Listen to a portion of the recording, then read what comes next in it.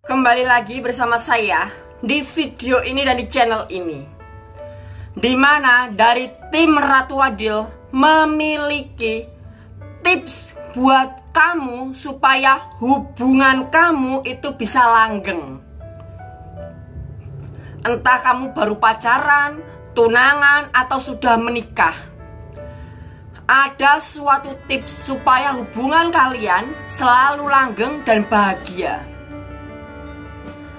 Karena banyak sekali zaman-zaman sekarang itu terjadi sandiwara, terjadi drama. Entah drama pacaran, drama tunangan, ataupun drama keluarga. Yang namanya drama itu pasti nggak enak. Isinya cuma nangis, berantem, sakit hati, kepahitan, cemburu, aduh, pasti rasanya nggak enak. Rasanya itu pasti nggak enak. Lalu, bagaimana cara mengatasi dari segala konflik drama, entah drama pacaran, drama tunangan, ataupun drama keluarga? Ada beberapa cara untuk mengatasi itu semua supaya hubungan kalian tuh nyata real tanpa rekayasa. Karena apa? Biasanya masa-masa pacaran, masa-masa hubungan itu kelihatan manis. Kelihatan lembut, manis. Di mana pacaran itu adalah hubungan yang penuh kepalsuan. Penuh dengan konflik sandiwara Biasanya wanita akan menutup-nutupi jati dirinya di hadapan laki-lakinya. Dia akan kelihatan manis, kelihatan baik, peduli, perhatian, uh, kelihatan yang manis-manis. Sama laki-laki di masa-masa pacaran, dia akan kelihatan, uh, keren, cool, uh, perhatian, terus peduli, ke mana-mana mau dianterin so sweet, manis sekali. Karena apa? Masa-masa pacaran adalah masa-masa penuh kepalsuan. Sandiwara kepalsuan terjadi di masa-masa pacaran. Lalu di masa-masa tunangan ada lagi sandiwaranya. Yang namanya pacaran itu adalah suatu hubungan yang belum resmi Sedangkan setelah pacaran lanjut ke tahap tunangan. Tunangan adalah hubungan pacaran yang sudah resmi, sudah mendapatkan izin dari kedua belah pihak. Masih konflik sandiwara, konflik drama itu masih berlanjut. Saat di waktu-waktu tunangan banyak juga konflik-konflik drama ataupun sandiwara Contohnya, wah si wanita ini, si wanita, wah kelihatannya, uh kelihatan mewah, kelihatan wah, sudah cantik, wah dia kaya, uh keren. Siapa sih laki-laki yang gak mau sama wanita cantik dan kaya? Pasti laki-laki terkundil-kundil sama wanita cantik dan kaya. Sama seorang wanita, siapa sih gak yang gak mau Seorang wanita siapa yang gak mau mendapatkan laki-laki cowok yang keren, cool, kaya lagi? Pasti si wanita juga terkundil-kundil sama laki-laki yang keren dan kaya. Konflik drama masih berlanjut. Berpura-pura.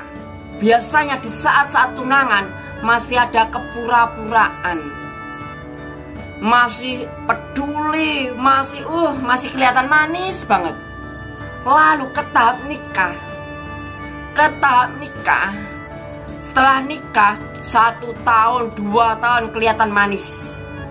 Lama kelamaan wujud aslinya kelihatan, sifat aslinya kelihatan. Uh, ternyata istriku yang dulunya kelihatannya manis, perhatian, dan dulunya kelihatan kaya ah, ternyata istriku dia adalah gembel dia adalah orang yang cuek, orang yang jutek, orang yang cerewet, cerewetnya melebihi cerewetnya kuntilana. Aduh, pasti laki-lakinya akan gruntel di dalam hati.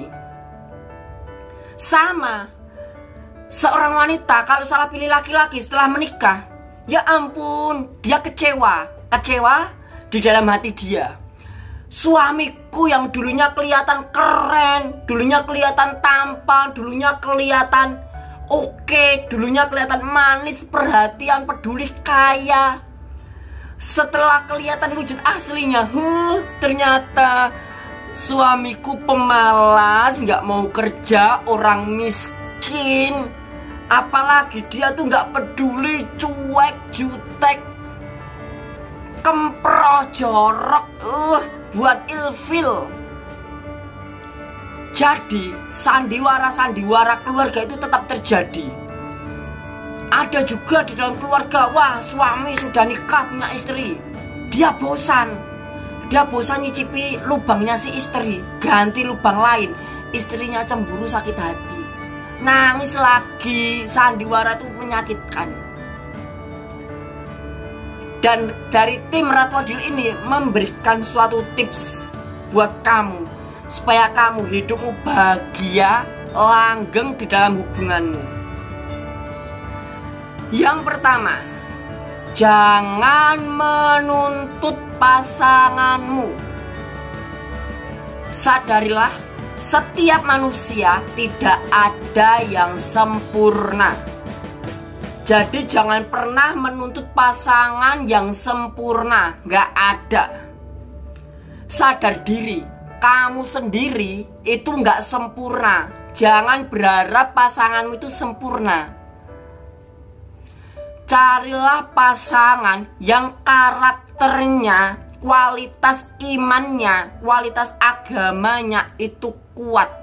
Itu baik. Itu tips yang pertama. Tips yang kedua, kamu Jangan pernah bersandiwara di hadapan pasanganmu. Kamu belak-belakan saja di hadapan pasanganmu dari awal. Supaya apa? Supaya pasanganmu itu tahu tentang kamu yang sebenarnya. Gak usah dibuat-buat. Kalau pasanganmu itu tulus menerima kamu, dia akan terus berhubungan dengan kamu. Tapi kalau pasanganmu itu tidak tulus, dia akan melepaskan kamu. Dan kamu Jangan sungkan-sungkan melepaskan pasanganmu yang tidak tulus dengan kamu. Yang ketiga, jangan lupa untuk selalu menjalankan firman Tuhan di dalam hubungan. Entah di dalam hubungan pacaran, tunangan, ataupun keluarga menikah, selalu utamakan firman Tuhan. Karena apa? Firman Tuhan adalah pelita bagi jalanku. Firman Tuhan adalah pelita bagi kakiku dan terang bagi jalanku. Pelita cahaya bagi kakiku, supaya kakiku bisa melangkah lurus. Dan terang bagi jalanku. Kalau jalannya terang, lewat itu enak, nggak ada masalah.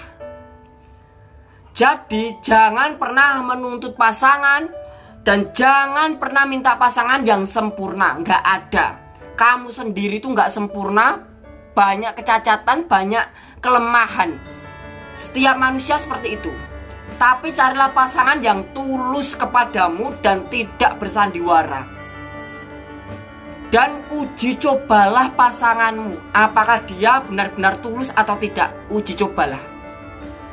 Buat saja, buat saja berbagai tes. Buat saja berbagai uji coba untuk pasanganmu.